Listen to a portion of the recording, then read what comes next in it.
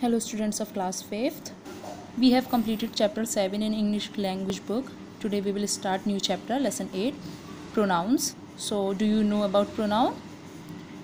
A word used in the place of noun in a sentence is called pronouns. Means जो words हम noun के place पर use करते हैं उन्हें pronoun कहा जाता है example like she stitched a skirt. तो यहाँ हमने नाउन के प्लेस पर शी यूज़ किया है तो ये प्रोनाउन है।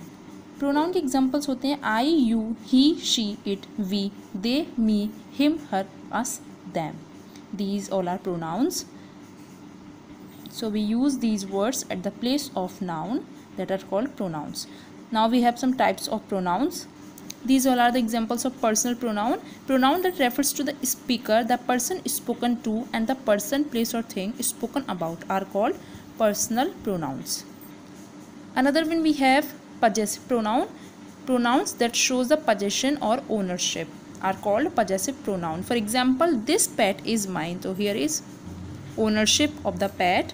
Second this is my towel that is yours. So it is showing possession or ownership. So these are called possessive pronouns.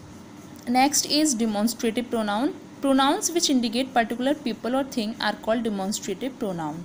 For example this is a sapling that is a tree. These are crystal marbles. Those are glass marbles. So these words are indicating the particular people or a thing. And last one we have reflexive pronoun. A pronoun that refers to the subject of a sentence is called reflexive pronoun. It has a suffix self or selves as a second half of the word. For example he blamed himself. So the this is an example of reflexive pronoun. And some other, uh, other examples are singular and plural. Singular myself yourself himself herself and itself. And the other examples of plural ourselves yourselves themselves. So in this chapter we have read about pronouns and the types of pronouns that are personal pronoun possessive pronoun demonstrative pronoun and reflexive pronoun. Now you have to read the chapter. If you have any query you can ask it to me